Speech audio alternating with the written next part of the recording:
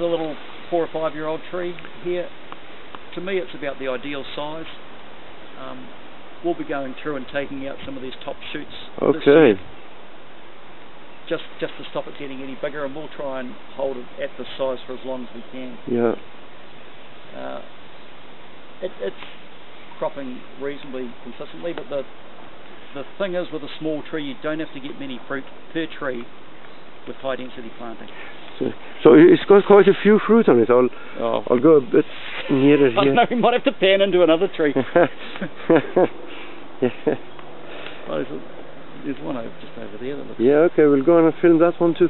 But uh, the interesting thing is that it's flowering at the same time as holding fruit.